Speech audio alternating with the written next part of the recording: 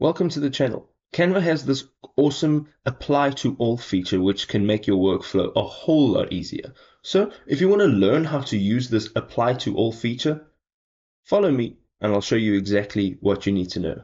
Now for this example, I have four video clips, but if you are doing a lot more than four video clips, this tool can really help your process.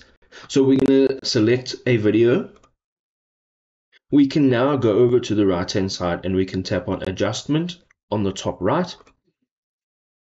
We can now make the appropriate changes to the adjustment such as temperature, saturation and some lighting settings as well as some special effects. Now there's two options. We can save it as a preset and reuse it in the future or we can click on apply to all and this will allow all of these changes that I made to be applied to all of the video clips within this timeline. Another way you can apply to all is going back onto video.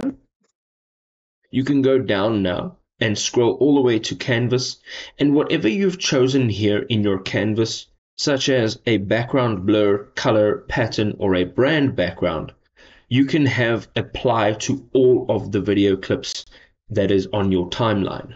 And this can really speed up your workflow and allow you to spend time creating amazing content.